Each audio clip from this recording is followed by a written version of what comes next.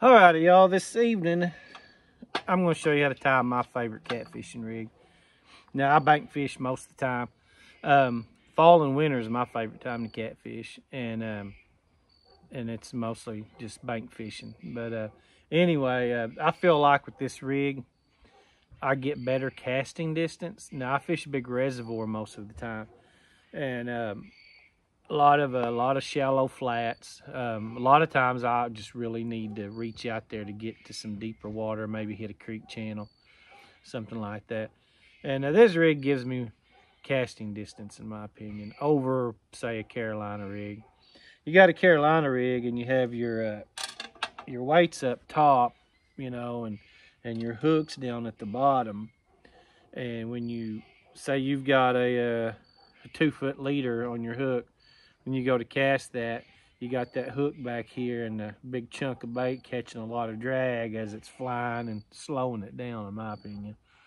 Now, with this rig, you're going to have the opposite.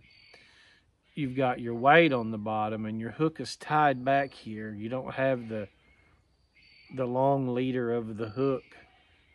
You know what I'm trying to say, flopping around. It's it's it's neat. It's more, uh, I guess you could say, aerodynamic. But uh, anyway, in most of the long distance casting videos I've looked up, and I, I looked up some just to see if this rig would show up, and it, it did, a rig very similar to it. Maybe not tied the exact way I do it, but anyway, it's I call it a three-way rig. I think I've seen it called a dropper rig. It's got different names like most rigs do, but uh, anyway, I'm going to show you how I tie it and um, some things that I do to it. But uh, anyway, we're going to start off with your hook. I use a uh, knotless knot. Now we're going to tie this up. I use, I'm using this green line here because I hope y'all can see it a little bit better. But um, I normally use a 50 pound test mono leader for my hook. Anyway, run this through the front of your hook. You gotta go through the front, that's important. That'll uh, help out with your hook set. Get Put enough through there, you got something to hang on to. Now you want to wrap it around that hook shaft there. About seven or eight times. Okay, there we go. Y'all hear that squirrel over having a fit?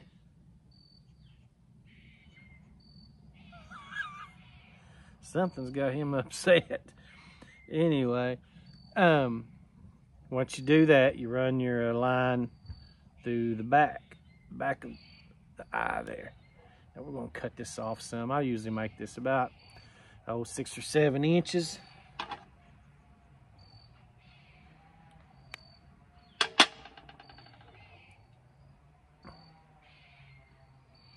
All right, there we go. We got that. Now, this will, I don't know if you can see, it'll loosen up a little bit on you. And, and it's fine. It, it, it pulls tight, back tight. It's not that big of a deal. But if you don't like that, you can uh, put your little drop of super glue on there, pull it tight, hold it for a few seconds, and it'll stick. But uh, anyway, so we've got this. We've got our uh, leader here for our hook. We're going to use a swivel. You can use a three-way swivel if you want, or just a uh, barrel swivel here too, just the, the regular.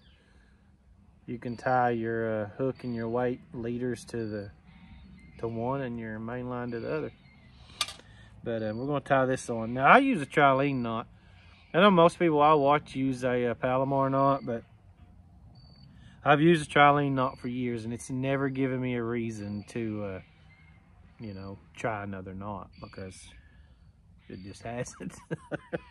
but uh, anyway, I'll show you how to tie it. Just run your line through the eye there. It's really easy. Now you, you uh, want to go through it one more time.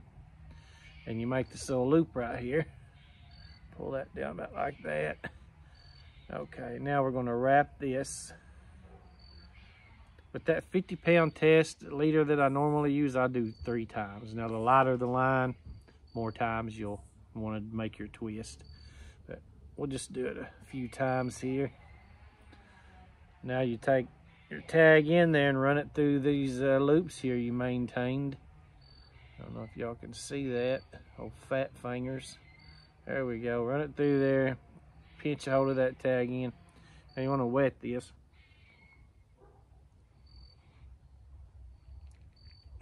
pull it down real tight. There you go.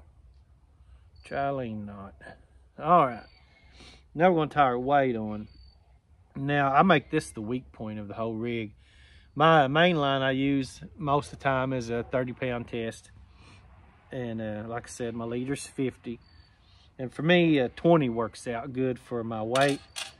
You don't want to go um, too light. I've tried going lighter and when I go to make my cast my weight will break off so uh, you know the 30 pound test main line with the 20 pound test line for my weight seems to be the seems to be the trick there. For me anyway. All right. Now, like I said, this is the weak point, so I'm going to use an even, uh, in my opinion, a knot that's not quite as strong as a trilene knot. But uh, just uh, we're going to use a uh, improved clinch knot. I'll run it through right there. Twist it six or seven times. Now we're going to go through right here, that little loop there. Get in there. now we've got a loop here now that we've made, so we're going to go through that. All right, now we're going to wet it.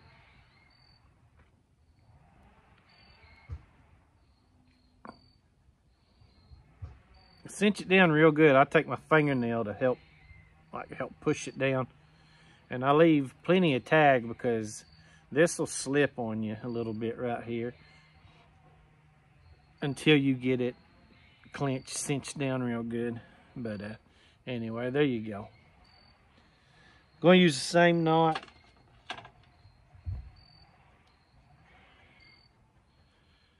Right here, tying it to our swivel. Twist, twist, twist.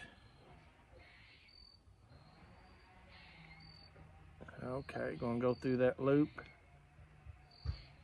This is the improved clinch knot. Now we're to go back through back through that loop.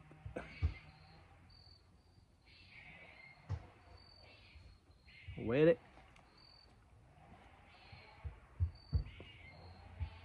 Now I got chainsaws out here. Y'all hear that? Squirrels, chainsaws. anyway, cinch that down real good and there you go. There's your hook. I usually make this uh, leader for my weight. Oh, foot and a half, two foot long. You know, just do whatever works for you. Now, like I said earlier, I think the benefit to this is casting distance. The, uh, I guess the a negative for it would be this weight will get you hung up, you know, but like I said, you make this your weak point. And as long as you don't have any bad spots anywhere, if you do hang up in the rocks and you have a good one on there, you know, this this should break. It's worked for me. So uh, anyway, um, oh, and one more thing. I, as far as comparing to the Carolina rig, I mean, honestly, you do do more tying doing this. Now, I've done it so long, it don't really bother me.